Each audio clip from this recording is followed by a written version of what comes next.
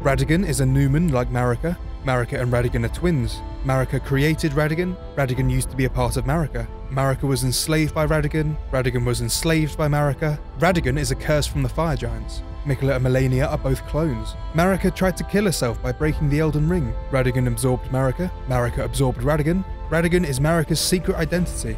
The Elden Beast pulled Radagon and Marika apart when he was creating the Sacred Relic Sword. Rennala and Radagon have a secret child. The Amber Egg is Rennala and Radagon's secret child. Banal is Rennala and Radagon's secret child. Godwyn is Marika and Placidusax's secret child. Marika and Radagon are the alchemical Rebis. Radagon is a misbegotten. Radagon is the hero of Castle Morne. Marika is the Gloam-Eyed Queen. Radagon is one of Marika's shadowbound beasts. Rennala was the cuckoo all along and she's taken over Radagon's body. Radagon is still alive somewhere. Marika was bound to Radagon using extreme grafting. The Greater Will bound Radagon to Marika to keep her under control. Radagon is a big parasite made by the Greater Will. Radagon is Marika's mimic tear. Goldmask was going to burn the Erdtree himself. Marika was originally a brunette. And, of course, Radagon is an ant. These were just a few of the theories you guys shared with me on my first video. I was absolutely blown away that so many of you took the time to share them, and I never expected so many responses. Thank you to everyone, especially those who disagreed with the usurping theory but still went out of your way to share such kind words. They've really meant the world, and all of your thoughts and theories are an amazing resource. They're also a testament to FromSoft's amazing method of world building for there to be such a wide variety of different ideas. One thing's for sure, after a year since Elden Ring's release, there still isn't a single unified theory within the community. Whether Radagon separated with Marika early on, whether they merged into one being after their marriage, or if they were never one being at all, the community is still undecided. And while the infinite scope of speculation is what draws many of us into the FromSoft games, at the moment it feels like we're still missing the full picture. As I expected, you guys pointed out many areas of the lore that I missed in the original video, so I want to follow up on these to try and progress this theory further. I'd highly recommend viewing the first part of this series if you haven't already, but if anyone out there still watches this video first, please let me know how crazy all this will sound. But as a summary, the usurping theory is an alternative interpretation to the message Radagon is Marika. It speculates that Radagon was sent to Leyndell by the Two Fingers to punish Marika for breaking the Elden Ring, and Radagon kept up a facade of order by pretending that Marika was still in control. In doing so, Radagon pretended to be Marika while she was locked inside the Erdtree, Radagon is Marika because everything Marika did after shattering the Elden Ring was actually done by Radagon in disguise. I had so many great discussions with you guys in the comments, and from listening to you guys, I've been able to compile a list of all the most important issues with the usurping theory, and the key areas of the lore I'll need to address for the theory to move forward. So in this video, I want to go through this list to help answer the questions you had for the theory. Thank you to all of you who shared your support and for explaining your thoughts in such amazing detail. Although I'm confident in the foundations for this theory, it must be said that I still could be wrong about many of the aspects of the lore. Whilst going through the lore and thinking about this theory, I've honestly felt that the usurping idea is able to provide a lot of answers to many of the mysteries we're still facing. At the moment, if anyone agrees with only certain aspects of this theory, I feel it's completely fair to take those points from this video and disregard the rest. Your own thoughts and theories are just as important as mine. So please let me know what areas of the video you agree with, and which areas you're still unconvinced. I've also gone through both the English and Japanese versions for the text for everything I'll cover in this video. I'll also link the translation spreadsheets I've been using, and a huge thank you to those in the Ward Discord community for helping me with lore and translation questions. The DeepL translator you guys directed me to was a great help. If I was stuck using only Google Translate, I'd definitely end up embarrassing myself. And again, a lot of my thoughts and theories have been heavily influenced by many other amazing content creators. Smoughtown, The Tarnished Archaeologist, Zulu the Witch, Quaylar, Garrulus Goldmask, Bandit Games, Mad Luigi, Sekuro Dubi, Agent Jake, The Lore Hunter, Zeostorm, Ratatoska, Lost Protagonist, Kosmos, and of course VaatiVidya have all been major inspirations for me. So you might recognise some of my approaches to the lore from their content, and I'll specifically link any of the amazing content that I'll talk about in this video. My videos are all about getting some ideas flowing, and it feels like there's a lot of interesting lore that just doesn't fit with the Radika theory. And as much of the game is still wildly confusing, simply strictly adhering to the Radika theory, in a way, prevents us from finding some of the overarching connections in the lore. So this is all for fun, and I'm hoping we get a lot of concrete answers when the Shadow of the Erdtree drops.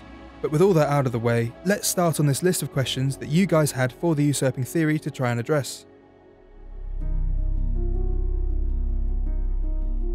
So the most commonly raised issue by far with the timeline for the usurping theory was with Miquella and Godwyn's apparent close relationship. As many of you pointed out, a lot of evidence is pointing towards them having known each other personally. Godwyn might even have been a parental figure for Miquella and Malenia, making his death even more tragic for the twins. If this were true, then most of the usurping theory couldn't even be possible. Specifically, if Radagon first went to Leyndell to enact Marika's grim punishment for shattering the Elden Ring, then Godwyn would have already been dead. So if the twins hadn't been born yet, obviously there would have been no chance for them to get to know each other. So I didn't bring up their implied relationship at all in the original video. And as it would mess up the whole timeline for the usurping theory, it really is something I should have included. The change in the timeline was based on the English and Japanese for some of Rogier's dialogue, where he clearly says the Night of Black Knives happened during the Golden Age of the Erdtree. And as he claims the Elden Ring closely follows Godwyn's death, I was confident this was before Radagon was in Leyndell. But this doesn't acknowledge the implied relationship between Miquella and Godwyn, and many of you pointed me towards small details that I'd completely missed before. So there's definitely more to consider, so I'll begin by addressing the evidence found in the game that does imply Miquella and Godwyn had a close relationship. As I'm sure you're well aware at this point, VaatiVidya's video on the lore of Miquella covers this evidence in amazing detail, so I would recommend giving that a second viewing. But the biggest piece of evidence is found within the description for the Golden Epitaph. A sword made to commemorate the death of Godwyn the Golden, the first of the demigods to die. Infused with the humble prayer of a young boy, O brother, Lord brother, please die a true death. With Miquella being forever cursed with an eternal childhood, and as it uses the Haligtree sigil in its weapon skill, he is clearly the obvious candidate for the young boy. Many of you agreed that Miquella likely made this sword soon after Godwyn's death, and for this to happen, Radagon and Marika must have already been together for the twins to be present at that time. And I think it's a fair assumption. For Miquella to have honoured Godwyn in this way, I think it does make sense that they would have had a close personal bond. Now, alongside the golden epitaph, there's also evidence found in this particular statue. Located in the Haligtree, it depicts Miquella and Malenia as children being embraced by an adult figure, and there's been a lot of speculation for this mystery person being Godwyn himself. Obviously, this would be very compelling evidence for Godwyn having personally known and been close to the twins. And although I've tried to gather evidence for who the sculpture could be depicting, to be honest, it is still quite an anomaly. There's a further connection between Godwyn and Miquella found in references to the eclipse, which I'll get to for the second part of this video. So first, with the golden epitaph implying their close relationship, there's a few points I'd like to mention. Points that suggest the sword was both made long after Godwyn's death and call into question that it is implying a close relationship. First, we all know from the incantations that Miquella shared with Radagon that he was definitely a fundamentalist for a time. And we also know that Golden Order fundamentalism was the principal force against those who live in death, who were all directly spawned from Godwyn's death root. Those who live in death fall outside the principles of the Golden Order. Their mere existence sullies the guidance of gold, tainting its truth. And so it is the vermin must be exterminated. Down to the very last. While Miquella was a fundamentalist, fighting against those who live in death would have certainly been an objective for him as well. And attempting to give Godwyn a proper death would certainly put an end to the spread of Deathroot. It also sounds like the perfect Herculean task for a prodigy such as Miquella. Apart from looking extra fancy, using the sword will prevent those who live in death from rising again after killing them. Those who live in death were all born from Godwyn's deathroot, which spread after Godwyn's soulless corpse was interred within the roots of the Erdtree so it's also fair to presume that Miquella was praying for Godwyn's true death to put an end to both his suffering and to put an end to the spread of his death root. The location of the Golden Epitaph is very interesting to me as well. As Abuza pointed out, it's just sort of hidden away on a random corpse in Auriza's hero's grave. This dungeon is filled with basilisks that spit deathblight at us, skeletal militiamen who live in death, more basilisks spitting out more deathblight, an omen that even spits out deathblight, and then a load more basilisks.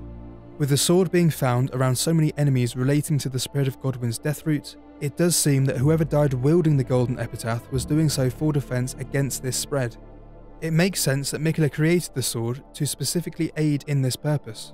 But as the death root stemmed from Godwyn's soulless body after it was interred in the roots of the Erdtree, it would have taken time for the death root to spread throughout the lands between.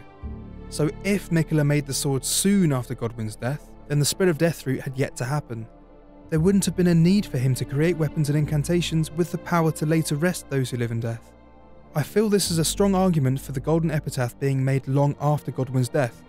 Admittedly, this doesn't mean Miquella and Godwyn couldn't have had an early kinship, but at the very least, I think it being made a long while after his death does weaken the idea that it was done so as an emotional response from Miquella, and as such, I think this weakens the idea that they were particularly close. Looking now at the rest of its description, it tells us that Miquella made the sword to commemorate the death of Godwyn the Golden. The sword being created for a commemoration by Miquella indicates to me that the sword was made for a more formal intention. We can see from its high level of ornamentation that it represents a more ceremonial or ritualistic purpose. And the word commemoration is typically used to describe paying respects to an event of the past. And lastly, the phrasing of Miquella's prayer appears quite cold and distant. Calling Godwyn Lord Brother feels much more reverential than familial. That said, the phrase O Brother, Lord Brother is translated from the Japanese Ni Sama. To my knowledge, this is just the respectful word for brother, so it seems like quite the leap to calling your brother Lord. Although this could be argued to be hinting at a distance between Miquella and Godwyn, it is equally plausible for Miquella to have reverence and respect towards him, especially if he really was a strong father figure for the twins. So this doesn't really help my case, as it can be argued for either, I think. But with all this in mind, I have to disagree that the Golden Epitaph was made soon after the Night of Black Knives and Godwyn's death. And in actuality, I don't think the sword gives us much evidence for an early kinship between Miquella and Godwyn. Its description just doesn't seem like strong evidence for an implied close relationship. I think it makes more sense that Miquella would have created the Golden Epitaph just to commemorate his brother's death and the reason for doing so was, in part, to seek an end to both the spread of Godwyn's death root and to fight against those who live in death. And as Miquella is often characterised as quite the compassionate individual, and as Godwyn's body looks pretty miserable, I think it's only natural for Miquella to yearn for his brother's suffering to end. Now, there's still the statue in the Haligtree. Many people have investigated this statue and have reached the conclusion that the person likely depicted with the twins here is Godwyn, well, the statue's delicate crown is notably different from those worn by Marika and Radagon. There's no hint of a bosom, suggesting it's not Marika, and they have wavy unbraided hair, which is very different from Radagon's. There has always been a signature hair braid in all depictions of Radagon and Marika, so it would be unusual for this statue to depict either of them without it. It's almost impossible to compare the statue with Godwyn, as there's sadly very few depictions of him in the game. We only have one still from the intro cinematic, where Godwyn has beachy wavy long hair, the shots in the story trailer of Godwyn post Shank with more silky smooth hair, and lastly, Godwyn's malformed mermaid body, which still has vestiges of long matted blonde hair. Comparing these is very tricky. In my opinion, the closest match to the statue is in the story trailer, showing Godwyn's straight blonde hair, but none of these show him wearing a crown at all, let alone the one he wears in the statue. To me, this crown is very similar to the ones worn by Malenia and Miquella in their statues. As an aside, it's interesting how different Miquella's hair is depicted here from the intro cinematic, where the undulating crown he wears is sort of similar to his intricate hair braids. And these unique braids are a perfect match to the mysterious individual in the Shadow of the Erdtree poster, which is very compelling for this person being Miquella. But again, both differ a lot, so I feel this helps the idea that the hair in the statues isn't a great identifier. Another quick side note, it really confuses me that Radagon has blonde hair in all of his statues. This is the same one in the capital that transforms into Marika, so I could argue that this shows Radagon slipping in his disguise in front of the sculptor, like he forgot to turn off the blonde and the sculptor noticed. It's more likely FromSoft just being inconsistent, but again, here we see the statues aren't always accurate. Anyway, whilst the Haligtree statue could be hinting towards Godwyn being close to the twins, I have to argue that this is just speculation at this point. We do know that Radagon did have a close relationship with Miquella from the fundamentalist incantations they were sharing with each other. But while I've been trying to find any clues, I haven't yet found anything that gives more information on who this individual is. Personally, I'm interested in FromSoft's choice of putting these red leaves creeping over the trio, the red colour could be symbolising the Scarlet Rot, if the figure on the left is Malenia. Similarly, the red colour could be symbolising the parentage of Radagon, if the adult figure is indeed Radagon. Or this could be nothing at all. FromSoft has been conditioning us to search for meaning in every small detail, but I've not seen anyone mention these red leaves before. In any case, we simply can't confirm who this individual is. I feel there's equal argument for either Radagon or Godwyn, but we can't know for certain. Sorry to VaatiVidya, as I know this theory is a particular favourite of his, and the fan art for Godwyn caring for the twins has been really incredible. so I hope I won't be upsetting anyone by casting doubt on the statue depicting Godwyn. But all in all, after going through the fine details for the golden epitaph and the Haligtree statue, I am still unconvinced they are hinting towards a strong emotional connection between Miquella and Godwyn. I don't think Miquella would have needed a close relationship with Godwyn for him to wish him a true death. And to me, there's a strong implication that the Golden Epitaph was made long after the Night of Black Knives, once the Death Root had spread and given rise to those who live in death. At the very least, even if they did have a relationship, I don't think this is evidence for them being particularly close.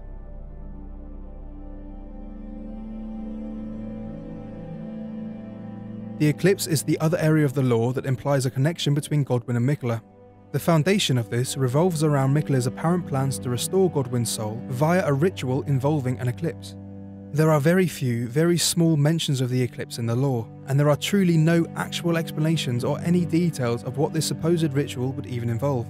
With so little information, it's not really an area I felt confident to speculate on, but many of you have seen a connection between Miquella and restoring Godwyn's soul, which would indicate a pretty strong connection.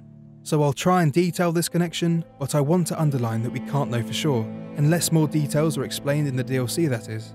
But going forward, I think the key question to keep in mind is, if Miquella was trying to restore Godwyn's soul, why would he want to do so in the first place? So mention of an eclipse is reserved for a handful of weapons and talking spirits. First, there's the Eclipse Crest Heater Shield.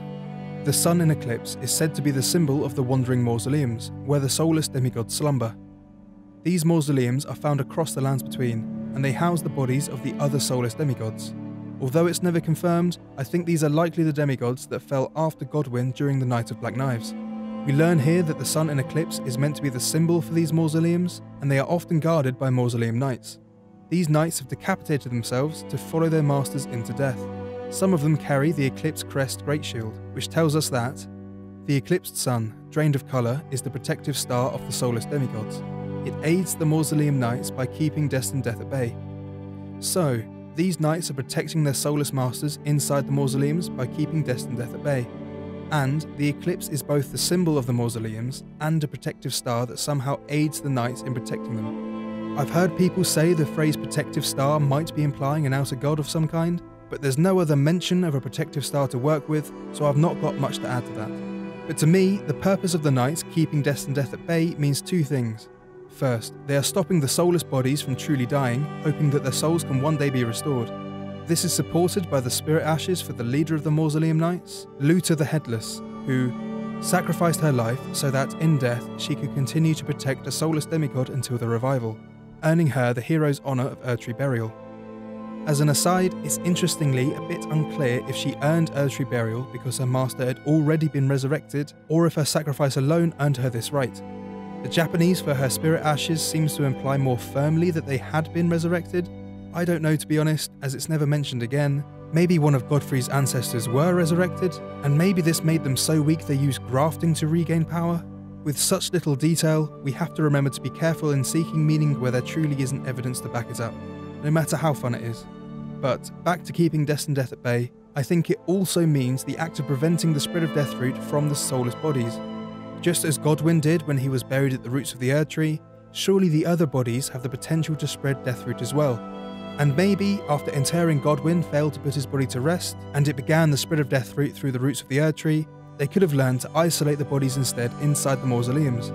This would explain exactly why they are present in the lands between, and why the knights continue to protect them. They are preventing anyone from tampering with the bodies, which could spread destined death further through more death Deathroot. So how does this relate to Miquella? Well, we know that he was a fundamentalist, and we also know he was an amazing prodigy. It makes sense that Miquella was using his intellect and skill to try and put an end to the spread of death Deathroot, and that means he was trying to solve the problem of Godwyn's soulless corpse. It's crucial that the symbol of the eclipse is said to have aided this endeavour, but we simply aren't told how. Well, we can learn more about the eclipse itself within Castle Sol. The place is covered with eclipse crests, and at its centre we find the Church of the Eclipse, where we find a spooky talking ghost. O great sun, frigid sun of Sol, surrender yourself to the eclipse. Grant life to the soulless bones. And at the top of the castle, looking down over the Haligtree, we can find another spooky ghost calling out to Miquella himself. Lord Miquella, forgive me, the sun has not been swallowed. Our prayers were lacking. Your comrade remains soulless. I will never set my eyes upon it now, your divine Haligtree. here's the big connection between Miquella and some sort of eclipse restoring life back to the soulless. It undeniably links them together, but it is the only mention of granting life to the soulless in the entire game. A few lines from two ghosts inside Castle Sol.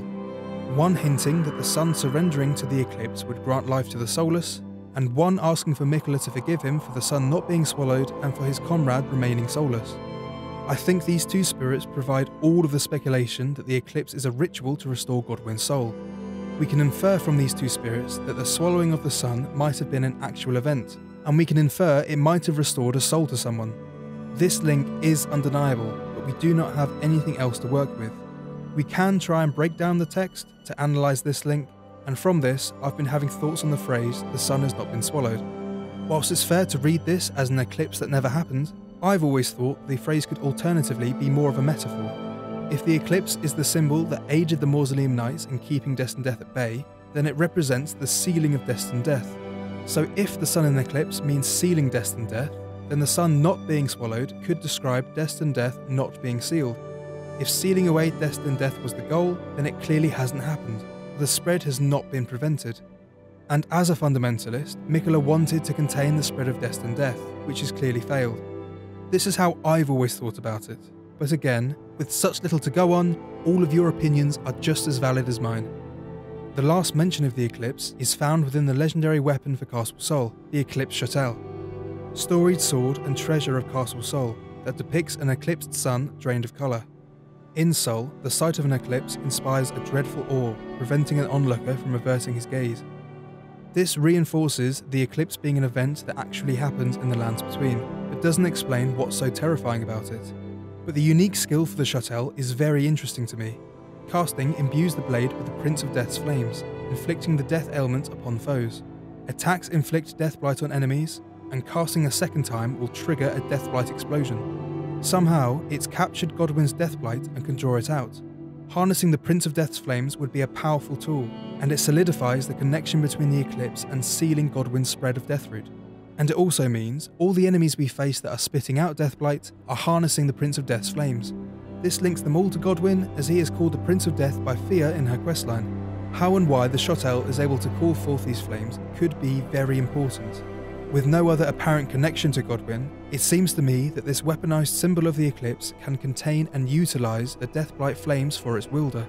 It has sealed destined death, able to call it forth at will, Again, we have such little information on the topic, so we can't speculate too much really, and there are so many questions remaining. How could the eclipse restore souls? Why was half of the Haligtree secret medallion kept at Castle Sol? Is there another outer god of the eclipse?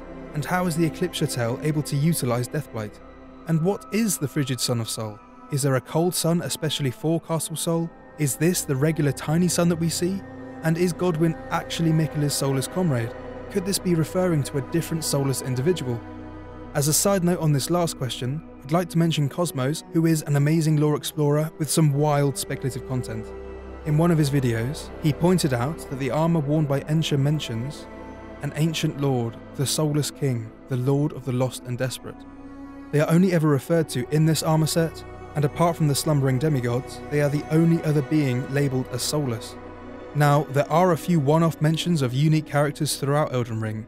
FromSoft clearly enjoy hinting towards plotlines they never intend to or never had time to explore further. But Kosmos argues that maybe this soulless king could have been Miquella's own royal consort. As an Empyrean, Miquella would have needed a consort to become a god, and there is never one mentioned for him in the game. This is definitely wild, but some really fun speculation and with so little information to work with, this idea could tie the Soulless King into the narrative in a cool way. But that's all I think I can say on this one. There's too much mystery for us to say we know for certain the details surrounding Miquella's connection to the eclipse. And while I can't deny that Miquella might have wanted to use the eclipse to restore Godwyn's soul, I'm not sure this would even imply that they had a close relationship. Miquella wouldn't have needed a close bond with Godwyn to wish him a true death. And, as I concluded in the last chapter of this video, I don't think this area of the lore implies that they knew each other personally. To me, the Eclipse has more of a role in sealing the soulless demigods, preventing the spread of Deathroot and destined death. But there may be more to this that I've missed completely, so if I have, please let me know. It'll hopefully be explored in the DLC, and I'll keep looking at this area of the lore to try and find any more solid answers. But that wraps up the questions for Miquella having a close relationship with Godwyn. I know a lot of you agreed that this was the main big problem for the usurping theory. But now I hope you'll agree that there's a good foundation for doubting that Miquella and Godwyn knew each other. I am still conflicted, as the artwork of Miquella and Godwyn is really amazing. And I know VaatiVidya has based a fair few videos on this theory, but I hope I've made a strong enough argument for moving Godwyn's death back to before Radagon went to Leyndell, and I really hope I've showed that it is viable in the lore. I think both arguments for and against their relationship do work, and both do make intuitive sense. So at this point, I can't deny that with all the mystery surrounding Miquella, it's fair if you simply prefer one theory over the other. For me, it's more intuitive that Miquella would have wanted to stop the spread of Godwyn's death root during his time as a fundamentalist. At the very least, it's still up for interpretation at this time. Again, if there's any other factors that I've missed, please let me know. I think I've covered most of the lore here, but I'll be more than happy to go over anything you guys point out in another video.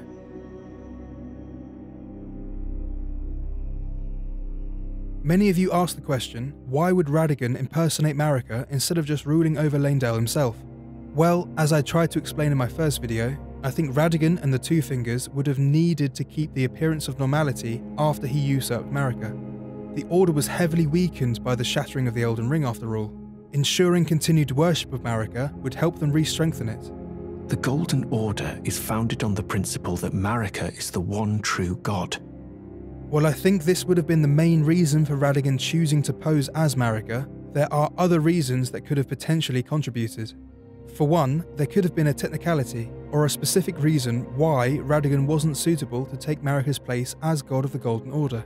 All Empyreans have been a female so far, so maybe being a male just isn't suitable. Well, Miquella was an Empyrean of course, but maybe even he was transitioning inside of his cocoon into St. Trina. Alternatively, the Two Fingers might have not wanted to end the current age, as has happened when gods have been usurped in the past. It would have led to a period of great change, and although the Golden Order would probably have survived this transition, it could have been too risky for them in their weakened state. This is just me speculating, so I can't say why they didn't just make Radagon the new god. But as a loyal fundamentalist, I'm sure Radagon would have preferred to simply stick to Marika being the one true god. So, as the Two Fingers would have been the one to send Radagon to Leyndell to usurp Marika, they would, of course, always have known that she had long been shackled in the Erdtree. They would also want to keep up the facade of order and the status quo, as they are the ones in the position of highest power, and it gives them the opportunity to strengthen their hold over the lands between by implementing fundamentalism as the ruling form of worship. I will admit this might all seem like a leap of logic, so I've been thinking of the best way of describing why this idea is so intuitive to me and I think the best way in doing so would be to talk about the Erdtree. I've always been very interested in the speculation that the Erdtree itself might actually be a golden shade of an original ancient tree. The Tarnished Archaeologist covers this idea in brilliant detail. I'd highly recommend viewing his content if you haven't already. But as a summary, he points out several elements around Leyndell that suggest the Erdtree is really just a giant phantom. The huge amounts of ash and the gold wax sealing it out of the windows and doorways tells us there was another previous cataclysm within the city, one that happened long before we arrived in the lands between. Interestingly, the dark strike over the entrance of the Erdtree is actually made of a different type of wood. When I first saw it, I just thought it was a shadow cast by some sort of scar, like a large split or hollow running up the trunk. But, thanks to Sekuro Dubi's amazing footage of the Erdtree, we can see the clear separation of materials. And as the non golden wood can be seen all the way at the top of the tree, this honestly could be the remains of an original tree. At night, we can see this more clearly. If this really is all we see of the original tree, then most of the Erdtree is actually a golden facade. This would be a similar illusion to the smaller trees that the Golden Seeds describe as illusory. Sekuro Dubi also points out these golden threads on the higher branches. It's as though creeping vines are growing all over the old tree. I personally think these are very convincing indicators of an original tree hiding beneath its golden facade. And as the tarnished archaeologist suggests, this phantom of the Erdtree is very similar to the golden shade of Godfrey that we fight in the Erdtree Sanctuary. So, I mention the illusory nature of the Erdtree because it ties in really well to an allegory I was planning to include in my original video.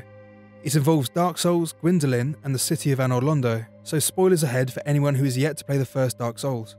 When we meet one of the most memorable characters in the game, Gwynevere, the Princess of Sunlight, she gives us the task of succeeding Lord Gwyn. However, in reality, Gwynevere is just an illusion created by her younger brother Gwyndolin. If you attack her, Gwyndolin will denounce you and dispel an illusion he's cast over the entirety of Anor Londo. Thou that tarnisheth the Godmother's image, I am Gwyndolin, and thy transgression shall not go unpunished. Thou shalt perish in the twilight of Anor Londo. He reveals the entire city is dark and desolate, caught in the dying twilight of Gwyn's Age of Fire, a far cry from the bright splendour we see on our first arrival. Gwyndolin created a facade over the entire city, bathing it in golden rays of sunlight. And, in a similar manner, the Erd Tree also has its own shining golden facade, giving off the impression of splendour and life. This is also a far cry from the stories of the divine benefits the Erd Tree once produced. As such, I feel it can be argued that the Erd Tree mirrors the illusion of Anor Londo.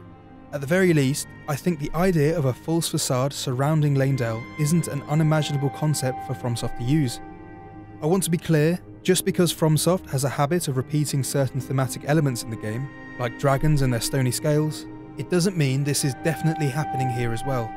I just want to emphasise that the concept of a grand illusion taking place to give the appearance of continued virility is something FromSoft has explored in the past, so it wouldn't be outlandish if this were reflected within Elden Ring.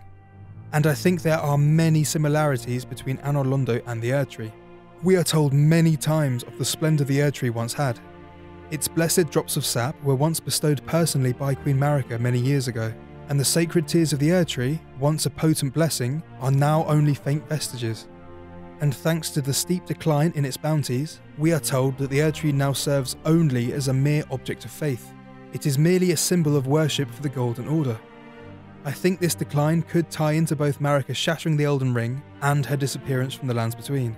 That said, it is implied to have happened a very long time ago, so this decline could still have happened during Godfrey's era. But now, with the diminished bounties of the Erd Tree, it has become an object of faith. And the Erd Tree becoming an object of faith ties in really well with fundamentalism coming into the picture. As fundamentalism forbids anything that challenges the principles of the Golden Order, calling them acts of heresy and blasphemy, all potential opposing forces to the Erd Tree are completely blocked from taking root, and this draconian ideology is a huge departure from the original liberal approach of the Golden Order. Fascinating, isn't it? That the Golden Order was pliable enough to absorb practices that contradicted itself in the past. With the Order broken, twisted, and in need of repair, such adaptability is more important now than ever. I'm very interested in how Queen Marika's own search for a deeper meaning within the Golden Order aligns with the more traditional ideology. I declare mine intent to search the depths of the Golden Order. Her own doubts about the Order go completely against fundamentalism. Those blissful early days of blind belief are long past. I don't think Marika ever agreed with fundamentalism, so to me, it makes more sense that fundamentalism was established after Marika had disappeared. Within the usurping theory, this ties perfectly with Radagon arriving in Leyndell and becoming the second Elden Lord so I think it's safe to say that fundamentalism is a separate form of worship from Marika's own ideology. Instead, as it's heavily associated and practiced by Radagon, it's intuitive that fundamentalism is likely Radagon's own form of religious practice. To solidify their power and ensure no one could ever question the Golden Order again, the Two Fingers wanted a faithful follower, a leal hound, to become the ruler of the lands between and establish fundamentalism and the propagation of strict fundamentalism really would guarantee that no one could question the Golden Order ever again. This transition from a firm but malleable ideology to a dogmatic autocratic rule over the lands between would need to maintain the image of Marika as the one true god. Even though she has to be punished by being locked in the Erd Tree, this transgression cannot be publicly known. The Golden Order is founded on the principle that Marika is the one true god this really is the cornerstone of the Golden Order. Public knowledge of Marika's punishment for breaking the Elden Ring would shake the foundations of the entire faith. So it makes sense to me that a facade of order, with Marika's image remaining untarnished by her crimes, would be the most beneficial to the Order. Additionally, it gives them the opportunity to implement fundamentalism, putting an end to any other potential forces that oppose the Erd Tree. The everlasting prosperity and divinity of the Erd Tree is another certainty of the Golden Order, or as Corhyn puts it, the culmination of perfection. Both of these tenets would have to be enshrined as fact for Radagon to maintain the status quo. As such, keeping a bright golden phantom Erdtree with the appearance of glory and splendour actually turns it into a tool that aids maintaining the facade of prosperity and normality, just like Gwyndolin's illusion over Anor Londo. It's not Radagon himself creating the Phantom Erdtree, but rather, the facade is created through the Elden Ring. This can be seen through the different forms of the Erdtree depending on how we repair the Elden Ring at the end of the game. In the Age of Fracture, the Erdtree returns undamaged by the Flame of Ruin, in a familiar condition with leaves continuing to fall. With Dung Eater's Mending Rune, the Erdtree is completely barren, devoid of colour and any leaves. With Fia's Mending Rune, a world of death restored, through all the pesky soot, the golden canopy has been restored, with a golden tinge to the tree. And in the Age of Order, with Goldmask's Mending Rune protecting the Elden Ring from any further interference, the Erdtree is blazing with golden light. Even the central scar around its entrance has some glimmer back, and the leaves are no longer falling.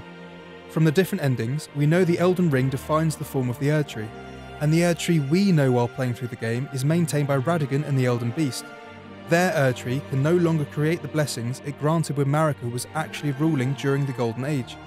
Finally, I'll add that maintaining a fake world, with Radagon pretending that Marika is still in control, would help explain the general stagnancy and decline of the lands between. It could be argued that the shattering of the Elden Ring began this decline, and the warring demigods certainly royally screwed up many parts of the world. But if Marika breaking the Elden Ring was followed by Radagon shackling her in the Erdtree, then I feel her absence would lead to a decline felt by the whole world. So yeah, I hope you'll agree that the motives for Radagon and the Two Fingers maintaining the status quo do make sense. And I think Nico Gurn put it best. Radagon pretending to be Marika also mirrors how Anor Londo has one god ruling as another. Just as Gwyndolin maintained the image of Gwynevere ruling over Anor Londo, due to her being a more suitable figurehead, continued worship of Marika would definitely be needed for Radagon to implement Golden Order fundamentalism.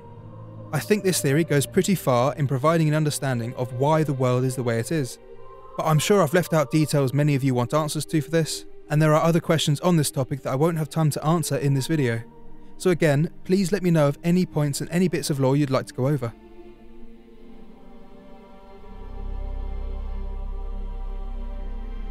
Many people disagreed with the theory that Goldmask's discovery of Radagon usurping Marika led to his apparent blasphemous thoughts. Although this would explain why his thoughts are going against Golden Order principles, many of you had many other theories for what his heretical ideas could have been. And that's completely fair, we can't know for certain what Goldmask is thinking, we only have the interpretations from Corhyn.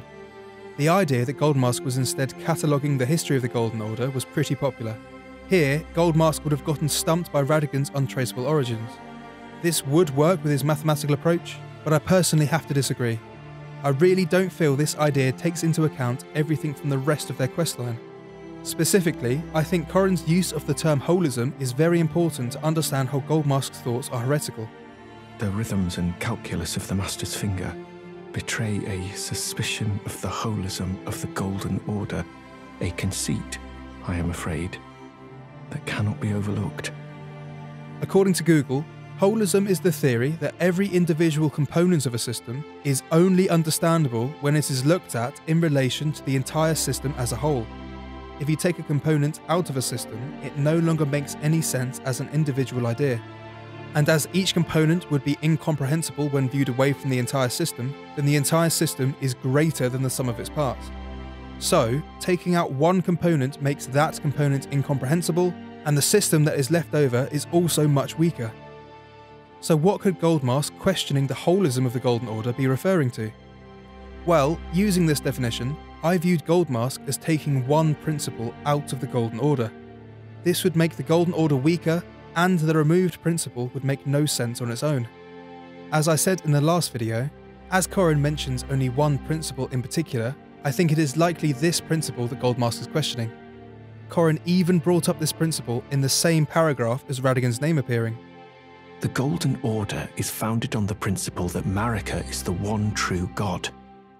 However, the name of Marika's second husband, King Consort Radagon, also appeared. Who exactly was Radagon? The Master is stumped. His finger has remained still ever since Radagon's name was discovered. If Marika had long been shackled in the Erdtree, then Radagon was the real god in control of the Golden Order.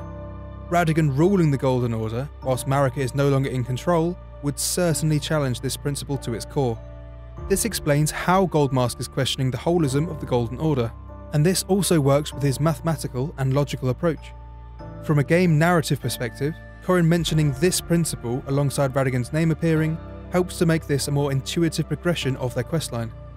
Narrative is particularly important to me as I love the art of storytelling and narrative creation, and I believe this theory definitely works with the lore, and, I think, is a more satisfying progression and conclusion.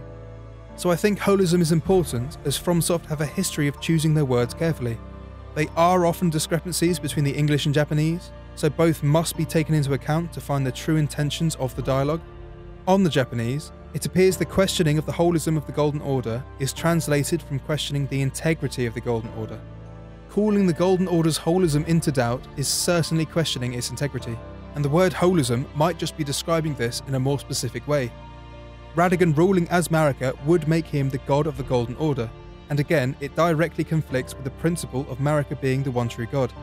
For the Japanese of Corhyn mentioning this principle, Corhyn says the Golden Order is the law that makes Queen Marika the one god. The use of the term law stands out to me, and in the context of Goldmask's thoughts later being heretical to Corhyn, it again seems likely that this was the law Goldmask was going against. But I'm not 100% confident on these translations, so if anyone could help with translating this part of the dialogue, it would be a huge help. But yeah, taking into account the entirety of Corhyn's dialogue actually gives us a lot to work with, and I really think we should be trying to use all the information FromSoft has given us. I hope you guys will also find this a more interesting progression of their questline. I know a popular theory is Goldmask was simply thinking the Golden Order isn't perfect in general. I can't deny this is a very valid possibility, for we aren't able to know for certain what Goldmask is thinking. Again, this would fit the narrative, but I think it completely departs from the progression of their questline, and disregards most of the dialogue. Similarly, many have said that Goldmask could simply be questioning the role of the capricious gods. His mending rune does make his thoughts on the Golden Order pretty clear, and such thoughts alone would upset the fundamentalist Corhyn. So now, let's move on to talking about Goldmask's mending rune.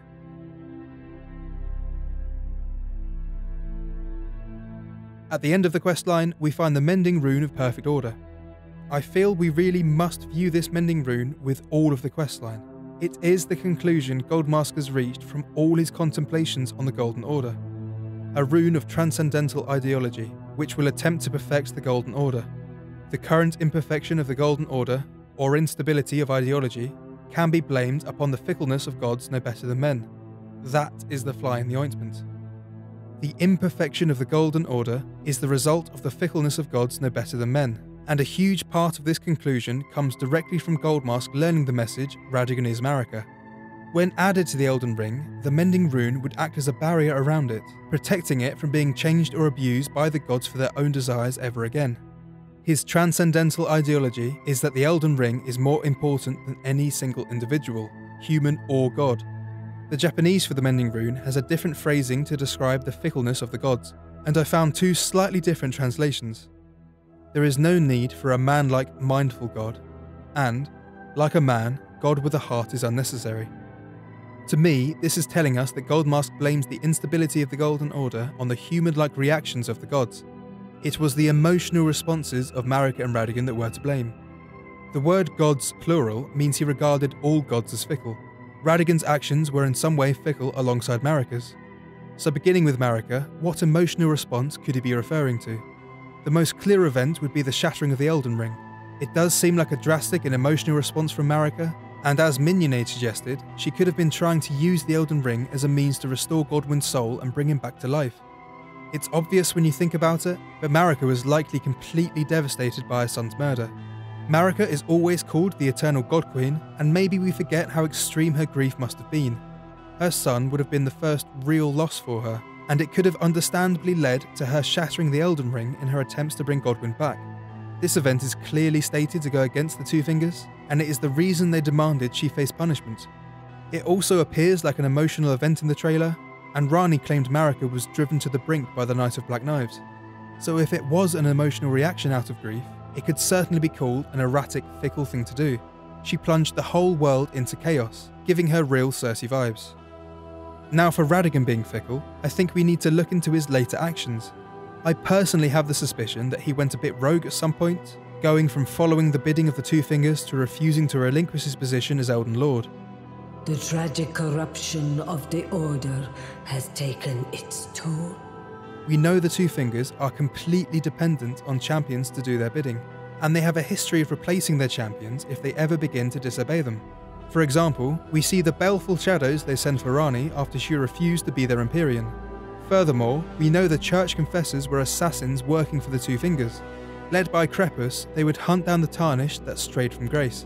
We find his Black Key crossbow hidden in the Round Table Hold, as well as the Assassin's Prayer Book, and the Crepus's Vial talisman would have helped them hide in the shadows. So, Radagon's refusal to give up being Elden Lord would also explain why the Greater Will extended grace to the Tarnished. Radagon ultimately failed to repair the Elden Ring, and the realm has fallen into decay. We were the last candidates left to succeed him and repair the Elden Ring. After all, the Two Fingers specifically ask us to become Queen Marika's consort. Confer great rules to become Elden Lord and join Queen Marika as her consort. The Fingers have willed it so. If Radagon knew they wanted him gone, it feels like a very human and emotional thing for him to lock up the Erdtree. A last ditch, defiant act of rebellion. A refusal to give up his position. Again, the Two Fingers themselves are powerless if their champions don't follow their orders. And this would be why our Two Fingers froze inside the Round Table Hold. We were their final option to complete Radagon's objective, the one he failed to accomplish. But they are completely bamboozled by Radagon looking up the Erdtree. They clearly didn't expect him to pull this move, and they clearly have no answer for it. The only way forward is to burn the Erdtree, and naturally, they would rather continue the facade of order that they helped implement over helping to commit the first cardinal sin. I really think this way of looking at things provides a good explanation for Goldmask's mending rune. The emotional reactions of both Marika and Radagon were the failure of the Golden Order. Their human emotions were the fickleness of gods no better than men. That is the fly in the ointment. I hope this all makes sense, and I will admit I'm speculating a lot on what Goldmask's mid-air braille writing could be.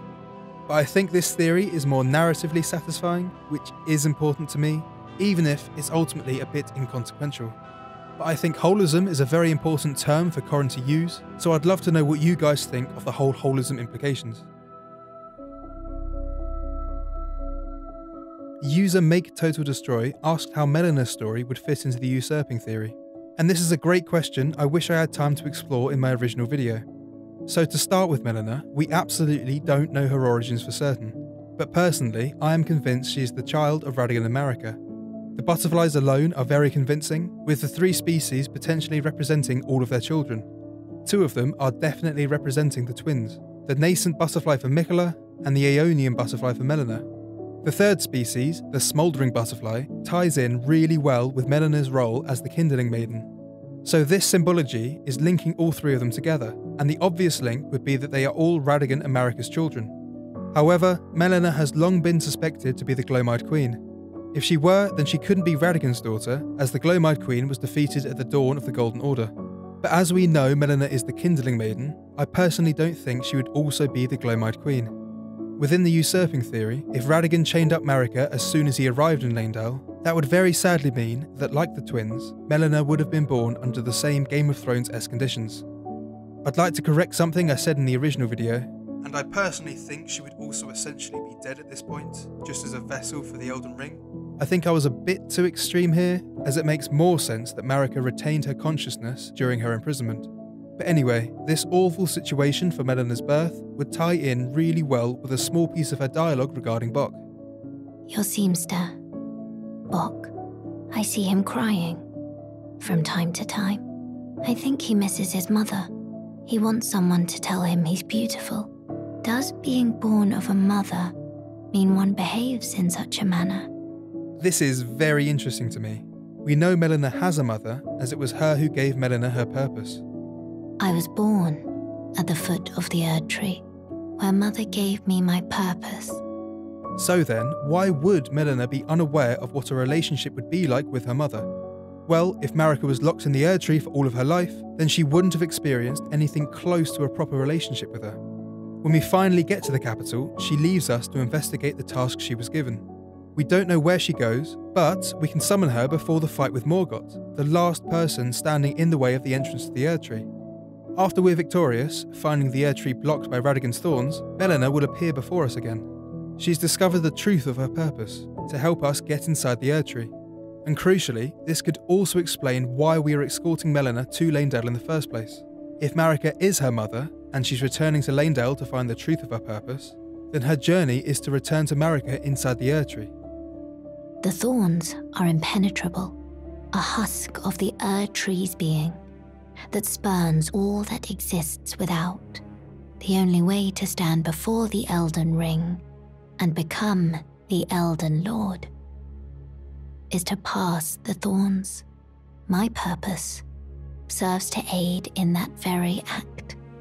In the end, this purpose leads to Marika being freed from her imprisonment by Radagon and the Elden Beast. If Marika gave her this task, and this task leads us to killing Radagon, then it makes sense to me that this was the mission all along. Marika gave this to her, knowing it would lead to a tarnished killing her captors and freeing her from her shackles. This goes completely against the Golden Order, which we know Melina is aware of from our very first interaction. One of her kind is sure to seek the Elden Ring. Even if it does violate the Golden Order. This all ties in perfectly with the usurping theory and gives more answers to why Melina is on her quest with us. I don't want to claim that I'm the first person to think of this kind of idea for her backstory, and I have to admit, this whole scenario works without the Radagon usurped Marika idea. I just think this is a fascinating part of the lore, and it does tie into the usurping theory really well. This way of thinking could also explain the secret task that Marika gave to Hewg. He promised her he'd create a weapon to slay god. And, just like with Melina, it makes sense that Marika gave Hewg this mission to ultimately free her from her imprisonment. We know Hewg is devoted to this task, and when we hear him praying to Marika, it does look and sound like he's doing it out of love and devotion. Roderika does call it a curse from Queen Marika, but I don't think it's a literal curse. Sorry if you haven't seen Naruto Shippuden, but a comparison to this would be how Sakura realises how stressful Naruto's promise to her has been on him. He completely devotes himself to bringing Sasuke back to the Hidden Leaf, and she realises it's like a figurative curse she's put on him. The mental and physical strain of the promise is like a metaphorical curse anime reference out the way, as we slay the demigods throughout the game, Hewg remains unsatisfied. So killing Radagon, or the Elden Beast would be the real mission Marika gave to him. So I'm convinced that Marika gave Melina and Hewg their secret quests, knowing it would help free her from the Erdtree. Whether by divine prophecy or sheer luck, this goal is ultimately successful. I know this is all speculation on my part, but I think this ties all these characters into the main story of the game in a consistent and gratifying way. I'm not sure exactly how many people believe she's the Gloam-Eyed Queen, or if they think she's Radagon and Marika's daughter, so I'd love it if you guys could let me know.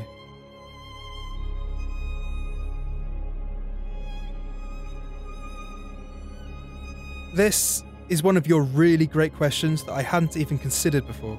And it's true, this question does create a bit of an issue for the usurping theory timeline.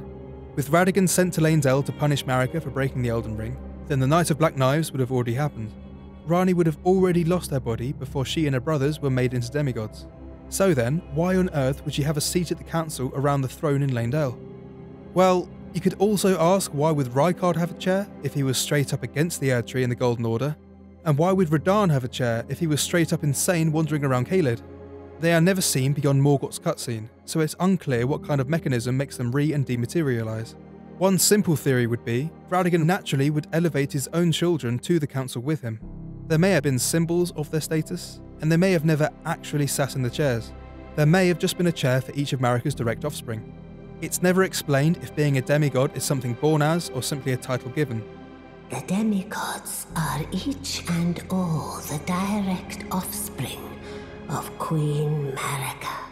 According to Google, the term direct offspring can be defined as a person who was born into or legally adopted into the direct line of an individual's descent.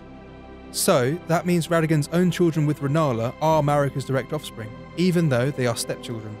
And along with Godfrey also being called a demigod, it seems more likely to be a title received.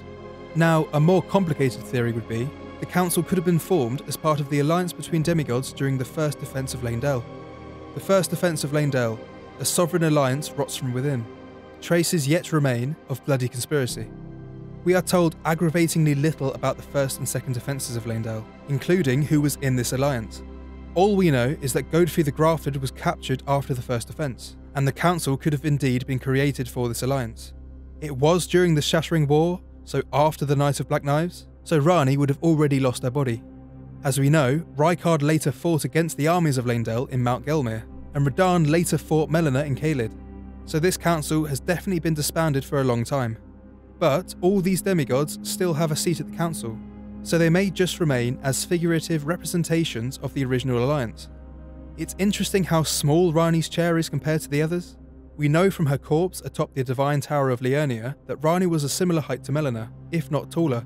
So, why is her chair so much smaller? Does this mean her chair was made for her doll form? Well, Radahn would also be way too big for his chair, but we don't know when or why he grew so large, so he may have just been a regular sized demigod during the Alliance. As you can tell, this is a tricky question to answer, with or without the usurping theory. And if you try and look deeper into the history, you'll always find there's far less information than we first realise. I love questions like this, they get me looking closer into details of the lore that I've completely missed before. I honestly didn't even realise there were two defences of Leyndell. I'll keep looking into this one to try and find more conclusive evidence, so if anyone has anything to add to this one, please don't hesitate to let me know. And please keep sending in your amazing questions.